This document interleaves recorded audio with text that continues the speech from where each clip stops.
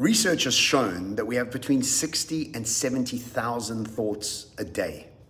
And 90% of those thoughts are the same, which means that every day is almost similar to the day before. Groundhog's Day is what most people suffer from and then complain about Groundhog's Day.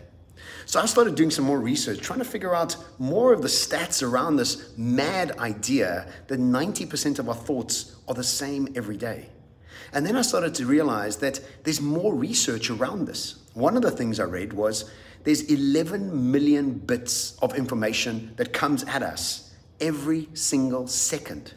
And our brains can only process between 80 and 150 bits per second. I'll say that again. There's 11 million bits of information coming at us. We process only between 80 and 150 bits per second, meaning that we are missing 99.99999% of what's going on out there. And we have created a system of filtering, distorting, deleting, and generalizing all the information that doesn't fit into the way we think or the way we like to see the world. And what creates this distortion, this deletion, this generalization is the fact that we have a filtering system. And this filtering system is based on our personality, the way we think, act, and feel, the way we have been experiencing trauma throughout our lives, the culture that we come from, the country that we live in, the gender that we have. All of these things create a filter system.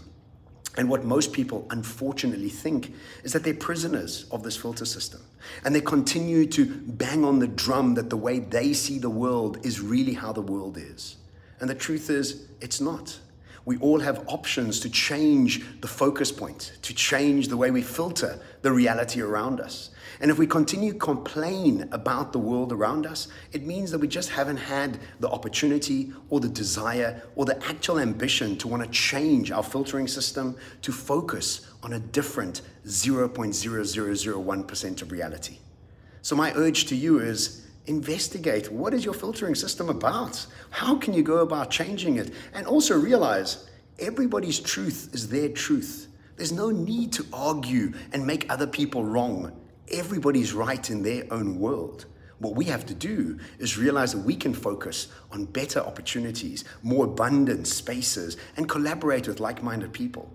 All we have to really think about is what's created these filters, heal those filters, and broaden our perspective to take in so much more of this incredible reality that we're part of.